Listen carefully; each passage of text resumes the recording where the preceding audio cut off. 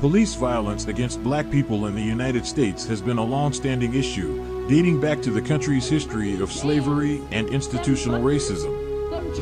While progress has been made towards addressing this issue, it remains a significant problem in contemporary society. The Black Lives Matter movement emerged as a response to the ongoing problem of police brutality against black people, particularly in the wake of several high-profile cases of police violence such as the killings of Michael Brown in Ferguson, Missouri in 2014, Eric Garner in New York City in 2014, and George Floyd in Minneapolis, Minnesota in 2020. These incidents, along with many others, have sparked widespread protests and calls for systemic change.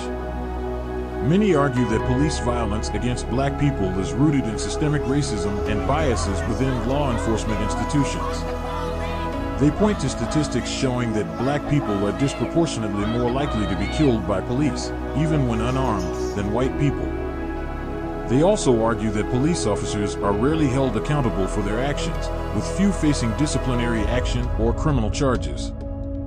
Efforts to address police violence against black people have included calls for police reform, increased accountability for officers who engage in misconduct, and the reallocation of funds from law enforcement towards community-based initiatives aimed at addressing the root causes of crime. These efforts have been met with both support and opposition, with debates continuing over the best ways to address this ongoing issue.